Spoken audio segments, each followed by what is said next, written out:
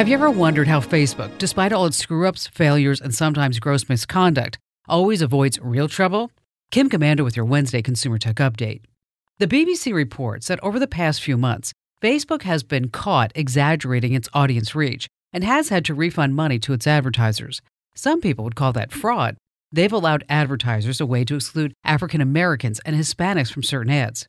Most recently, they allowed advertisers to target, and I quote now, Jew haters.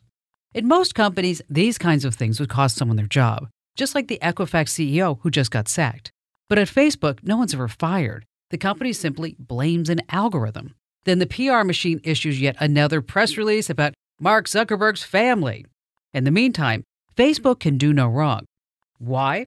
Because you can't fire a computer algorithm. Our tech news is updated all the time at news.komando.com. That's K O M A N D O.